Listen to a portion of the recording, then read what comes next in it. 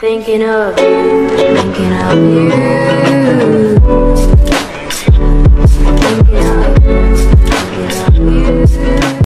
Assalamualaikum and welcome back to my channel ZNM Official Vlogs. I hope you all are doing well and enjoying your summers.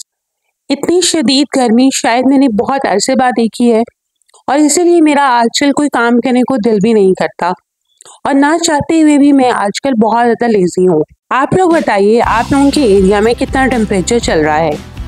और आप लोग इस गर्मी में कैसे सरवाइव कर रहे हैं? एक सर्वाइवल टिप इन दिस शदीद गर्मी, जो मैं आपको दे सकती हूँ दैट इज़ कि आप दिन में 20 टू 25 गिलास पानी लाजिम पिए।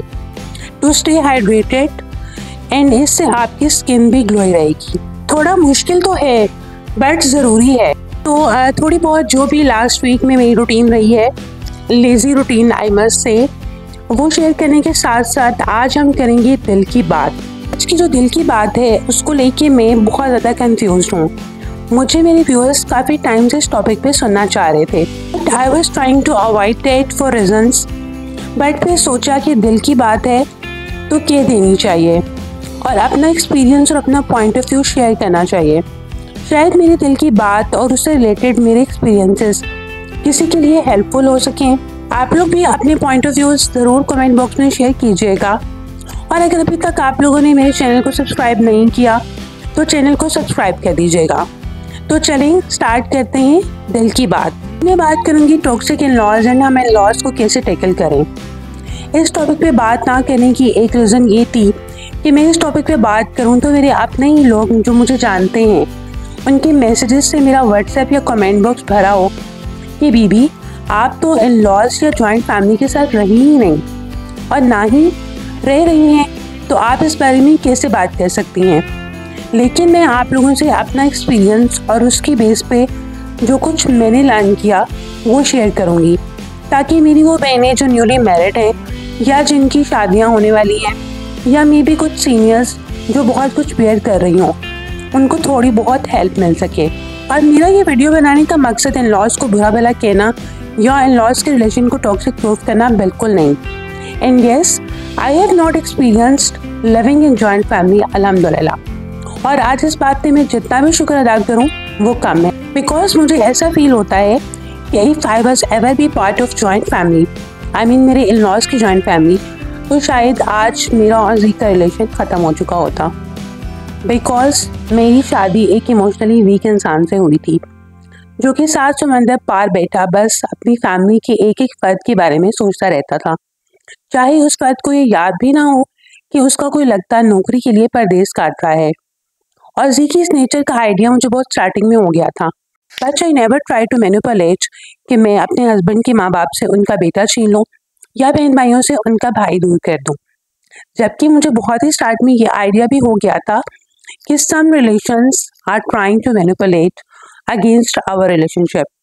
यहाँ मैं कोई अपना ससुराल नामा सुना कि अपने ससुराल को जालिम और खुद को मजलूम साबित नहीं करना चाह रही।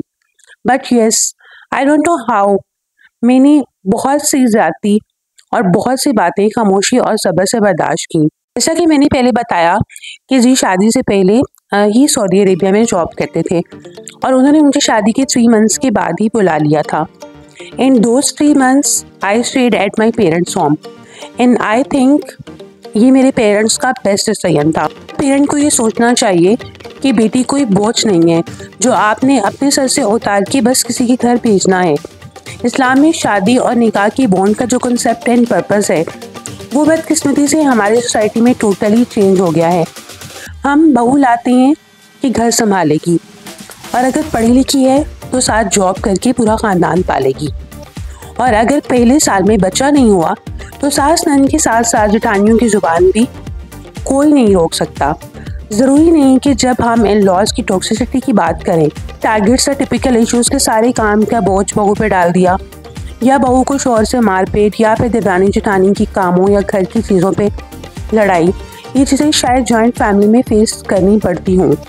आई थिंक आजकल it's very rare social media और ड्रामा इंडस्ट्री ने आजकल इतनी अवेयरनेस लोगों को दे दी है कि किस तरीके से आप दूसरे को डिस्ट्रॉय कर सकते हैं और किस तरीके से आप दूसरे का मेंटल पीस स्पॉइल कर सकते हैं। और आजकल मैनिपुलेशन के थ्रू जो है वो बहुओं को या भाभियों को या दबरानियों जेठानियों को टारगेट किया जाता है।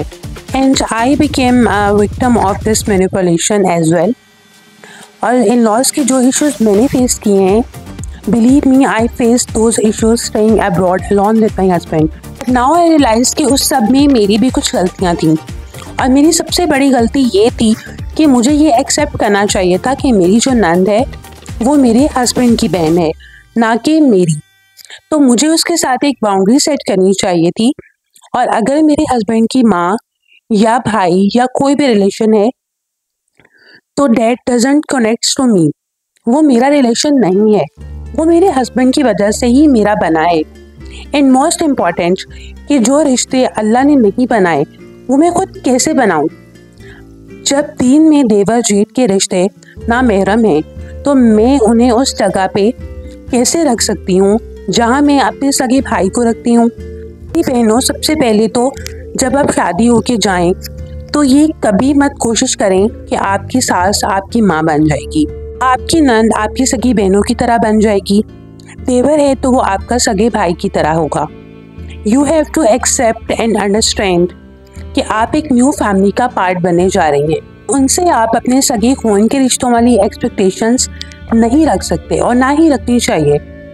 इवन अगर आप खुद नन हैं तो आपका रिलेशन अपनी भाभी के साथ भी तभी अच्छा रहेगा जब आप ये एक्सेप्ट कर लेंगी कि वो आपकी भाभी हैं, आपके सगे भाई की वाइफ ना कि आपकी सगी बहन।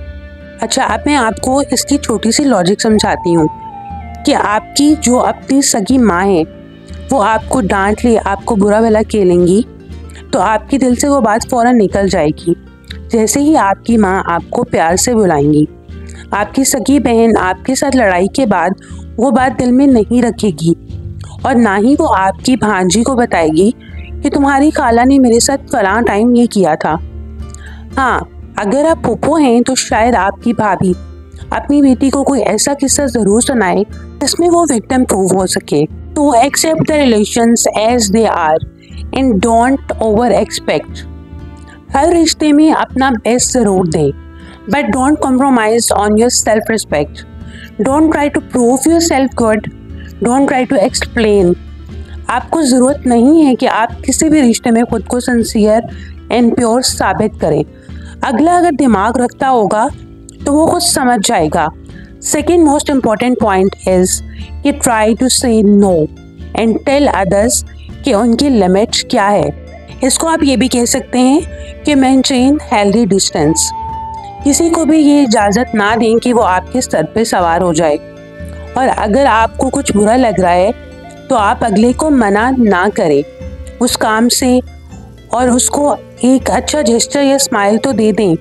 लेकिन उस काम या एक्ट से आप खुद अंदर ही अंदर कुड़ते रहें और अपना मेंटल पीस स्पॉइल करें। इससे बहुत बेहतर है कि अच्छे तरीके से अगले बंदे को बता दें कि इट्स बियॉन्ड योर लिमिट्स इसकी बहुत से एग्जांपल्स हैं। जैसे in the very start sister in law का ये काम था कि वो डेली मेरी वार्ड्रॉप खोलती थी और उसमें से मेरी परफ्यूम्स यूज़ करती थी। जी ने अगर कोई चॉकलेट्स या जूस वगैरह रखा होता था तो वो आके डेली निकाल लेती थी। तो मुझे वो चीज़ अच्छी नहीं लगती थी। बिकॉज़ मेरी अलमारी है तो ऑब्वियसली मेरी प्राइवेसी तो होगी बट मैं कभी नहीं कह पाई।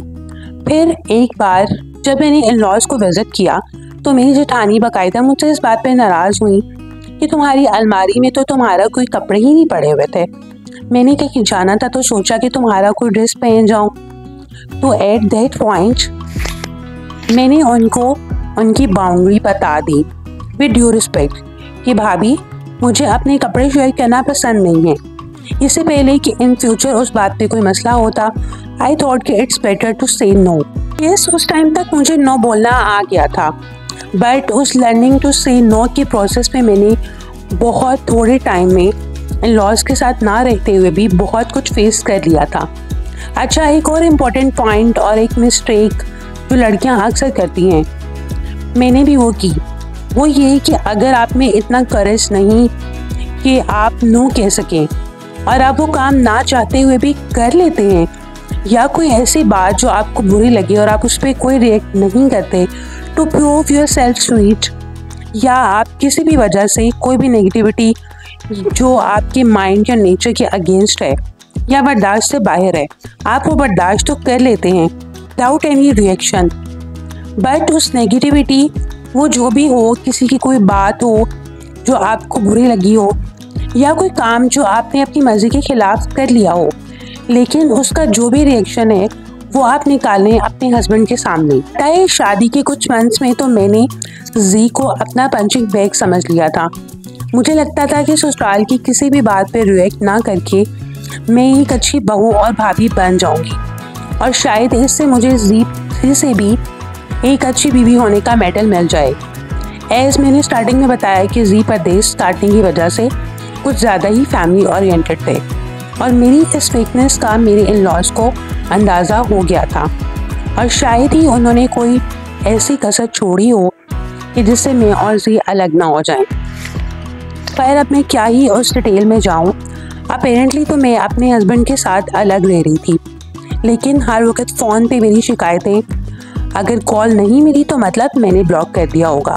जबकि मैं खुद जी को कॉल्स मिला मिला के देती थी कि अपनी फैमिली से बात कर ले।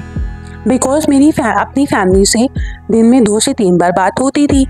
और ऐसा नहीं है कि मैं अपनी सिस्टर इन लॉ या मदर इन लॉ से बात नहीं करती थी बट वहाँ से या तो शिकायतों का अंबार होता। शिकायतें भी उन बातों पे जो मैंने की ही नहीं। पुरानी जेठानी की मन करटे इल्ज़ाम जिनसे मेरा साल में कोई चार से पाँच बार ही मिलना होता। और अगर कभी शिकायतों से फुर्सत मिल जाती तो फरमाइशें तैयार होती।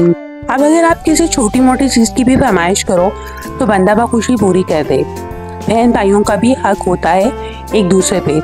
लेकिन उनको तो बच्चों के लिए फ़ोन और लैपटॉप चाहिए होते थे, या फिर गोल्ड। खैर, मैंने कभी इस देने दिलाने के मामले में इंटरफेयर नहीं किया था। बट आई थिंक एक बीवी का हक होता है कि उसे पता हो कि उसका शौहर माँ बाप के अलावा किसी को क्या दे रहा है। लेकिन उस सब के लिए आपका अपने हस्बैंड के साथ एक स्ट्रॉन्ग बॉन्ड डेवलप करना ज़रूरी होता है। ना कि आप उसे अपना पंचिंग बैग समझें और सारे ससुराल की फ्रस्ट्रेशन उस पर निकालें।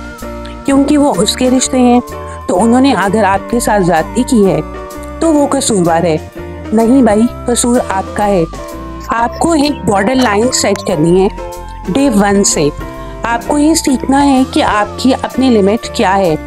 जो बात आप बर्दाश्त नहीं कर सकती उस पर इनकार करना सीखें। डिस्क्लेमर मैं यहाँ पे कोई बदतमीज़ी करना नहीं सिखा रही। बट ये बहुत ज़रूरी है कि आप अपनी सेल्फ रिस्पेक्ट को और अपनी बाउंड्रीज को मेंटेन रखें। और जब आपके इन लॉज को ये पता हो ना कि आप अपने शोर को पंचिंग बैग बनाया हुआ है तो यकीन करें ऐसे ऐसे इश्यूज़ क्रिएट करते हैं just to create a mess between you and your spouse मुझे आज उस इंसिडेंट पे हँसी भी आती है और वो इशू क्रिएट करने वालों की मैंटेलिटी पे भी हँसी आती है।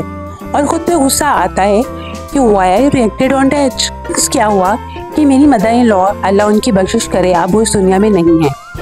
She was a nice lady अच्छा जी, उनकी कॉल आती है जी को मेरे जो जेठ हैं, उनकी सबसे बड़ी बेटी को रो रो के बुरा हाल हो गया है। उसको तो बुखार चढ़ गया है। इतना कुछ सदमा उसने ले लिया है। क्योंकि उसने मुझे फेसबुक पे फ्रेंड रिक्वेस्ट भेजी थी, जो कि मैंने एक्सेप्ट नहीं की। और इस बात से पहले तक बहुत से ऐसे छोटे छोटे इश्यूज़ हो चुके थे जिनसे जी को भी ये समझ आ गई थी कि आखिर ये हो क्या रहा है। उस बात पे हमने कोई खास रिएक्ट नहीं किया और ना ही मैंने या जी ने अपनी मदाई लॉ को कोई जवाब दिया। बात ऐसी थी कि मेरी समझ से बाहर थी और बर्दाश्त से भी। बच मैंने बाद में जी को आराम से बोला कि मुझे ये बताएँ आपकी बेचारी मदर को ये भी पता होगा कि फेसबुक किस ब्लॉग का नाम है। वो बेचारी सीधी सादी खातून नमाज़ कुरान पढ़ने वाली। उनको इस कदर भड़काया गया कि उनके सामने इतना ड्रामा क्रिएट किया गया कि भाई, पता नहीं कौन सी मोहब्बत ज़ाहिर की थी उनकी पोती ने, जिसका बहू ने जवाब नहीं दिया। तो ज़ाहिर है वो बेटे से शिकायत तो करेंगी। उस पर मेरे रिएक्ट ना करने की एक वजह ये भी थी कि जी को भी समझ आ चुकी थी कि ये गलत है। भाई, मेरी मर्ज़ी, मेरी फेसबुक मेरा social media I am not bound to accept every one request obviously मेरी प्राइवेसी है और मुझे मेरी स्पेस मिलनी चाहिए। खैर, ऐसा नहीं है कि उस टाइम पे जी ने मुझे कुछ कहा कि तुमने क्यों एक्सेप्ट नहीं की या कुछ भी, लेकिन उनको भी बुरा लगा कि उनके भतीजे ने ये जो हरकत की है ये बहुत गलत है। सब में मेरी मदर इन लॉ भी इनोसेंट थी। एज उनको तो सोशल मीडिया का इतना कुछ आइडिया नहीं था। बट उनके सामने जिस तरीके से प्रेजेंट किया गया, उसके अकॉर्डिंग उनका रिएक्ट शायद नेचुरल था। या अगर मैं यूँ कहूँ तो ज़्यादा परफेक्ट होगा कि मेरे इन लॉज ने मेरी मदर इन लॉ को मोहरा बना के मुझे टारगेट किया। और ये एक बार नहीं, ये बार बार हुआ। इस बात की समझ भी मुझे आ चुकी थी और अल्हम्दुलिल्लाह, मैंने कभी भी अपनी मदर इन लॉ के साथ मिसबिहेव नहीं किया और ना ही उनकी शिकायतों पर रिएक्ट किया। At that time I and G both realise कि ये जो कॉल्स पाकिस्तान से आती हैं, इनका एक्चुअली में मकसद क्या है? के स्टार्टिंग के ईयर्स में आप इतना मेच्योर नहीं होते हो स्पेशली जब आप लाड प्यार में पले हों और आपने इस किस्म की कॉन्स्पिरेसीज फेस ना की हो।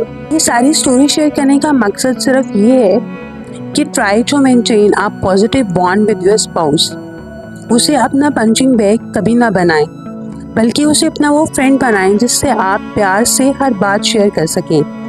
कुछ भी हो जाए, आपने अपने हस्बैंड को ब्लेम नहीं करना, ना ही उसे ये फोर्स करें कि वो शादी के पहले ही साल में अपनी बहन भाइयों के खिलाफ खड़ा हो जाए।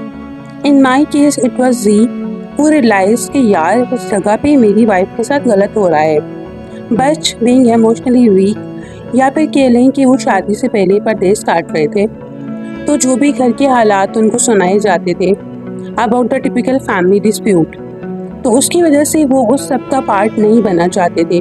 Standing in favour of as partner but इस सारे सिचुएशन में जो एक काम मैंने किया, वो ये था कि मैंने जी को पंचिंग बैग बनाना छोड़ दिया। हर छोटी छोटी बात पे शिकायत करके अपना रिलेशन खराब नहीं किया। ऑनेस्टली मैंने खामोशी प्यार कर ली। और फिर वक़्त पलटा। जी को खुद रियलाइज़ हुआ कि हु इज़ रॉन्ग वो टॉक्सिक इन लॉज रिश्ते जिन्होंने मुझे चैलेंज किया था कि उनका भाई मुझे छोड़ देगा बट उन्हें नहीं। जी उनसे अलग हुए, उनकी अपनी वजह से। बिकॉज़ दे आज them to choose between me and them और इस सब में मैंने अपना बेस्ट देने की कोशिश की। मैंने कभी भी कोशिश नहीं की कि मैं कता तालुकी करूँ। बहनों से मिलने, उनके घर जाने के लिए जी को मैं फोर्स करती रही। बिकॉज़ मैं ये सोचती थी कि मैं भी किसी की बहन हूँ तो शायद जो जज्बात मेरे दिल में अपने भाई के लिए हैं, वही जी की बहनों के दिल में भी होंगे। But at the end ji realise that they are not sincere with him हम लोग ये भाषण तो ज़रूर देते हैं कि इस्लाम में कता ताल्लुकी हराम है। लेकिन क्या हमने कभी बेटों को ये बताया है कि इस्लाम में शादी के बाद ऐसा कोई कॉन्सेप्ट नहीं, जिसमें बहू पूरे ख़ानदान की खिदमत करे? देखिए, आपके शोहर के वालदेन की ज़िम्मेदारी आप पे नहीं है, लेकिन वो आपका इखलाक, आपकी तरबियत है, जो आपसे उनकी खिदमत या इज़्ज़त करवाए। इस्लाम हमें बुज़ुर्गों का एहतराम करने का हुक्म तो देता है तो साथ साथ ही इस्लाम हमें शरय पर्दा करने का भी हुक्म देता है। तो आप अपनी बहू या बीवी को जॉइंट फैमिली में ना महरम रिश्तों के बीच में रहने पे कैसे मजबूर कर सकते हैं? मैं ये नहीं कह रही कि शादी होते ही शोर को लो और अलग हो जाओ, क्योंकि हमारी सोसाइटी में हर कोई ये अफोर्ड नहीं कर सकता। लेकिन जो आपकी बहू या भाभी का एक रूम है, जो आपके घर में उसको दिया गया है एटलीस्ट उसमें तो उसकी प्राइवेसी रहनी चाहिए ना, कि ना कि आप उसकी अलमारी तक में घुस जाएँ। यहाँ अपनी जो बातें शेयर की हैं, वो सुनने में तो शायद बहुत मायने लगे। But to experience it's very better ये कुछ ऐसे पॉइंट्स थे जो मैंने शेयर किए टू अवॉइड टॉक्सिक इन मेरा मकसद कोई भाषण देना नहीं था और ना ही मैं बहुत ज़्यादा डिटेल में अपने बिटर एक्सपीरियंसेस शेयर करना चाहती हूँ। बट कुछ पर्सनल एग्ज़ाम्पल से सिर्फ़ ये समझाने की कोशिश की है कि डे वन से आप नेचर रहें। और अपनी सेल्फ रिस्पेक्ट और मेंटल पीस पे कॉम्प्रोमाइज़ करके आपको बेस्ट बहू इन द फैमिली का बैच कभी नहीं मिलने वाला। बल्कि आप जितना ज़्यादा पेशेंस और इग्नोरेंस दिखाएँगे in some cases even in mind उतना ही आपको एक्सप्लॉयट और टीज किया जाएगा। टू ब्रेक योर साइलेंस लेकिन आपको कभी भी अपना साइलेंस उस टाइम पे ब्रेक नहीं करना, जब आपको पुश किया जा रहा हो। और इन माई केस मैंने खुद को एक बात समझाई थी कि मैं इन सबसे ज़्यादा एजुकेटेड और समझदार हूँ। मेरा लेवल इनसे हाई है। मतलब कि मेरा अपब्रिंकिंग या मेरी माँ की तरबियत इनकी तरबियत से बहुत बेहतर है। सो so, मैं इनके लेवल पे नहीं आ सकती और I let see handle them although उसमें टाइम लगा और वो एक बहुत टायरिंग और लॉन्ग प्रोसेस था। But that is my victory Alhamdulillah, I never let C misbehave with his parents because of me. But for his siblings, एक वक्त आ गया कि मेरा सब्र ख़त्म हुआ। बट आज मैं जिस मुकाम पे हूँ और मेरा और जी का रिलेशन जिस लेवल पे स्ट्रॉन्ग है उसके पीछे मेरा बहुत सारा पेशेंस है। एक लास्ट एडवाइस जो मैं पेरेंट्स को करना चाहूँगी वो ये है कि प्लीज़ अपनी बेटियाँ रुखसत करते वक्त उन्हें ये कहना छोड़ दें। कि अब उस घर से तुम्हारा जनाजा ही उठे। जैसे कि मैंने वीडियो के स्टार्ट में बताया कि शादी के बाद वीज़ा प्रोसेस होने तक मैं अपने पेरेंट्स से कर रही थी। मेरे पेरेंट्स ने मुझे बहुत समझ के ससुराल के हवाले नहीं कर दिया कि लो, बहू के नाम पे ये नौकरानी रख लो। माई पेरेंट्स डिसाइडेड बिफोर शादी कि जी के बगैर मैं ससुराल में नहीं रहूँगी बिकॉज़ शरीयत इस बात के लिए अलाउ नहीं करती। बहुत से केसेस देखे हैं कि हस्बैंड मुझसे बाहर साल बाद आएगा। बच आपकी बेटी ससुराल ही रहेगी। चाहे उसे दो वक्त की रोटी के लिए पूरे घर की मुलाजमत करनी पड़े। मैं फिर कहूँगी कि सास ससुर की खिदमत और नंदों की मेहमान नवाजी करना इज़ नॉट डेट कि आप मुलाजिमा बन गई ये आपकी तरबियत है, आपका इखलाक है। But there is no concept of Weber जेट इन इस्लाम सो हन रिश्तों का आपकी लाइफ में इंटरफेरेंस का कोई हक भी नहीं बनता। एनीवेज ये एक ऐसा टॉपिक है कि इसे आप एक सेशन में समाप्त नहीं कर सकते। मैंने कोशिश की कि आप लोगों से अपने दिल की बात शेयर करूँ और अपने एक्सपीरियंसेस की बेस पे इस टॉपिक पे बात करूँ। आई होप आपको मेरी आज की वीडियो अच्छी लगी होगी। आप लोग अपने एक्सपीरियंसेस और अपना पॉइंट ऑफ़ व्यू ज़रूर शेयर कीजिएगा। अपनी दुआ में मुझे याद रखें। इस दुआ के साथ इजाज़त चाहूँगी कि अल्लाह ताला हर बेटी का नसीब अच्छा करे। और नेक लोगों से वास्ता डाले। और हर बहू को हिदायत दे कि वो शोहर को उसके खून के रिश्तों से अलग ना करे। आमीन। मिलती हूँ आपसे नेक्स्ट वीडियो में।